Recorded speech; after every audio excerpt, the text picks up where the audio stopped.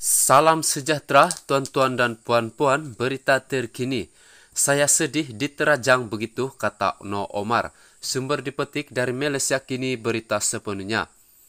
Penyandang kursi Parlimen Tanjung Karang, No Omar, meluahkan rasa terkilan kerana tidak dapat mempertahankan kursi yang telah dimenangi selama enam penggal walaupun dia sendiri menyusun calon pilihan raya di Selangor. Pengurusi Badan Perhubungan AMNO Selangor itu berkata demikian dalam majelis ceramah perdana bersama calon Parlimen Gombak, Megat Zulkarnain Omardin di Gombak. Bila kita, bila kita pilih calon bertanding, saya lihat Khairi Jamaluddin, Megat Zulkarnain dan ramai lagi mampu merampas semula Selangor. Tetapi bila saya susun kursi calon, rupa-rupanya kursi saya sendiri dicuri, katanya tanpa menamakan mana-mana pihak, Noh bagaimanapun akur dengan keputusan untuk mengetepikannya sebagai calon di Tanjung Karang. Tak apa saya reda, cuma saya sedih diterajang begitu. Tetapi benda sudah berlaku, saya tidak lari daripada perjuangan tetap bersama BN, katanya seperti dilapor.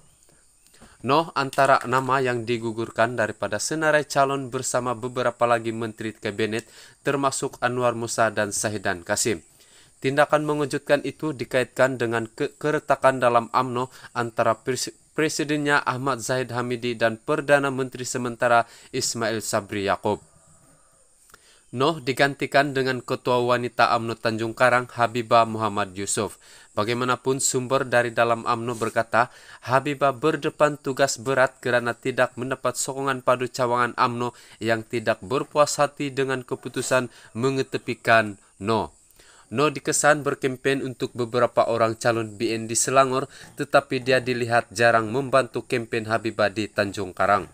Pada 8 November lalu, No menjelaskan bahwa Tanjung Karang adalah kawasan putih dengan membayangkan kemungkinan besar BN akan menang di kawasan itu. Bagaimanapun, No hari ini berkata, pengundi terutamanya golongan muda lebih melihat prestasi calon berbanding parti. Pengundi sekarang tengok calon bukan lagi patih. Mereka menilai mengkaji hikmat yang ditawarkan kalau kita boleh menang di Gombak. Percayalah Selangor kita mampu tawan semula jelasnya. Sekian laporan.